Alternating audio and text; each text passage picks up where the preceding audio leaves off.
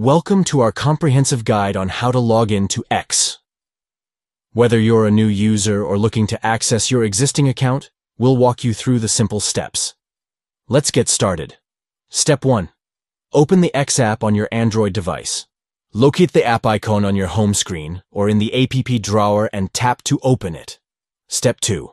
Once the app is launched, you'll be presented with the login screen. Look for the login option and tap on it to proceed. Step 3. On the login screen, you'll find the sign in button. Click on it to initiate the sign in process. Step 4. Now, it's time to enter your X sign in credentials. This typically includes your username or email address and your password. Take your time to accurately input this information. Step 5. After entering your sign-in credentials, click on the sign-in button again to proceed. This action will authenticate your information and grant you access to your X account. And that's it. You have successfully logged into X and can now enjoy all the features and benefits it offers. Thank you for watching our tutorial. Don't forget to subscribe to our channel for more informative guides and tips. Enjoy a seamless experience with X.